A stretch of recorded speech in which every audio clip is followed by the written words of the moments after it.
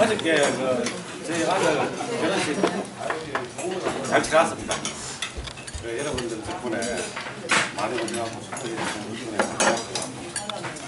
정식 인사는 그 올게 1월, 1월 첫째 주 제가 밥을 샀거든요. 예. 내년 1월 첫째 주에도 제가 살 겁니다. 그래서 하여튼 저 우리 마라톤 이 어, 그 날로 반- 번창하고 해서 참 좋습니다. 다 여러분들 덕분이고 어, 금메달은 우리 마라톤 만세라. 우리 마라톤